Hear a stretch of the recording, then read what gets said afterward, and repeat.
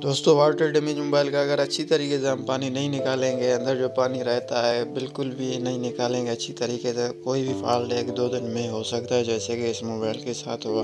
तो एंड में देखना इनके साथ क्या फॉल्ट हुआ। हालाँकि दो दिन, तीन दिन जो बंदा था, बोल रहा था कि दो, तीन दिन सही चल रहा था, मगर अभी जो है फॉल्ट जो निकला है, वो आप एंड तक ज़रूर देखना। और जो है, हमने पानी वगैरह इनसे पहले भी निकला हुआ था, मगर इनके ऊपर जो कार्बन वगैरह थी, हमने सिर्फ़ वो उतारने की कोशिश की और कुछ हीटअप किया है तो वीडियो को प्लीज़ ज़रूर देखना और वो फॉल्ट भी मैं इंशाल्लाह बना के वीडियो में एडिट करके फिर अपलोड कर लूँगा। वीडियो मैंने उनके ऊपर भी बना लिया, अब जो मैं एडिट करके फिर वो भी वीडियो अपलोड ज़रूर कर लूँगा।